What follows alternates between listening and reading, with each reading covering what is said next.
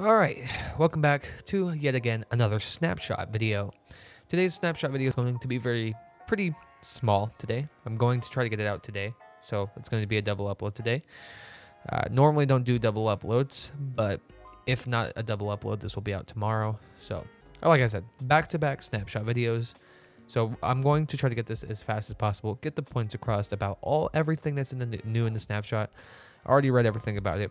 We're good and uh, yeah so there's also a uh, there's just a, a, few things. There's not a lot of things. We're gonna start here. So if we come here we have honeycomb and we have an iron axe. Now there is a few a thing that they did change with the copper block. Previously to wax to get waxed copper blocks you would have to craft them in a crafting table. But you don't really have to do that anymore. All you have to do is come over here and right click to a copper block and there you go. This is now it now it is a waxed copper block. You don't have to craft it. You don't have to do anything. All you have to do is right click it. I mean, you can probably still craft it, but all you have to do is go and right click it. When you right click it, it is waxed. It is a waxed copper block now. It's not going to oxidize. Nothing. You can wait forever and it will not oxidize. But if you do want it to oxidize, you can come over here and grab a axe, and there you go. As you can tell, the white little part of uh, particle effects is now meaning that the copper is not waxed and it will oxidize after a while. So all you have to do is come over with an axe and right click it just like doing this with a honeycomb. Now it's waxed, now it's unwaxed. As you again, as you can see, that's what they've made and I actually like it. Kind of convenient, kind of convenient. So uh, you guys want to wax your copper blocks without having to pick them back up and waxing them all at once? Go ahead and just go get some honeycombs and uh, wax them yourself. If you don't want them to be waxed and you need that certain one to be oxidized, there you go. Uh, so the next thing we have is we'll put these away. So the next thing we have is we have the lightning rod. The lightning rod previously could not be waterlogged, but if you put it in the water, now there you go. It can be waterlogged. It is not going to make water go away. Water is going to be able to go around it. It is 100% waterlogged. So if you want to put this in water for whatever reason, you can. It, it's not going to get rid of the water like a full block. This kind of does the same thing as other things as well. I'm pretty positive with glass, the little glass pane rod and whatever have you. And yeah, little small change, little small change, but not not too not too big cha- uh, of a of a change. But there you go. That's how you that's how you do that. So the next thing is now rooted dirt is now bone mealable. You can bone meal rooted dirt to have all the nice little roots. It's now I mean I don't know why you'd want to do this, but if you need the if you need the little uh, rooted pieces for whatever reason, here you go.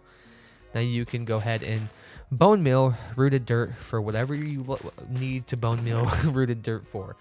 Whatever you need to bone, um, bone meal rooted dirt for, you can now take the bone meal and just do that and boom, you have the little roots here, the hanging roots.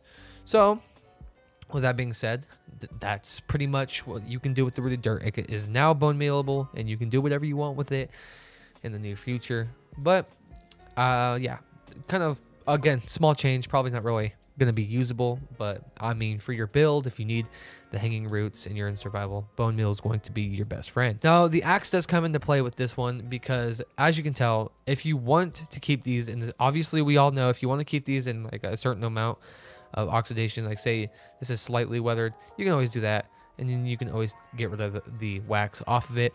But with that also being said, you can also take the oxidation off of the coppered blocks as well. And you have, if you have the weathered coppered block right here, it's going to take one, going to take two, and then this one's going to take three. And you can go ahead and scrape the oxidation off of coppered blocks with an axe, kind of the similar to the honey and, or the honeycomb, waxing it and waxing off.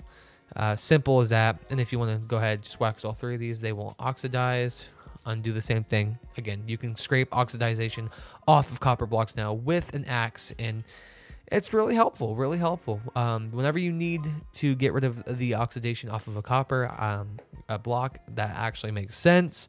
Whenever you need it, and uh, yeah, it also is really easy and a lot more easier just to go over there, right click, and do that. Awesome, really cool, and amazing. And another thing is, and the last and final thing is, wax coppered blocks can now be crafted into fork uh, iron in, or copper copper ingots. It doesn't it doesn't matter. It doesn't have to be uh, strictly copper blocks. Now you can just do that, and there you go, copper block, and there you go. It's not going to be wax, by the way. But if you want it to be wax, just place it down and do that. There you go. And if you don't want it to be waxed, you can go ahead and take your iron axe, diamond axe, whatever axe you have probably, and go ahead and get rid of the uh, wax that is on it. And with that being said, that is the snapshot of 20W11A snapshot. There you go. There's a few things that have been done with this. And as you can tell, look at that.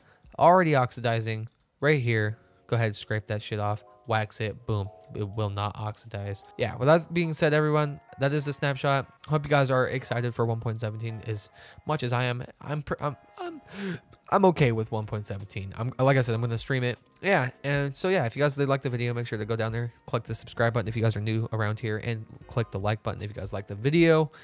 And as always, I'll see you guys in the next video. Peace.